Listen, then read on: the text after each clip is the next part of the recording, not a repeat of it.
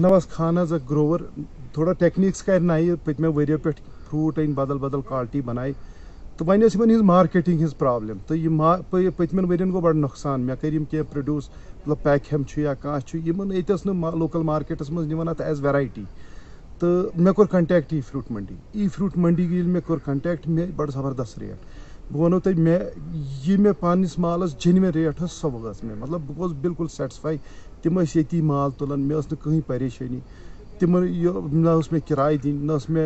Commission दिन ना मे कह चीज़। मे गो पन माल सेल बिल्कुल मे जेनवन रेट्स आए तम आए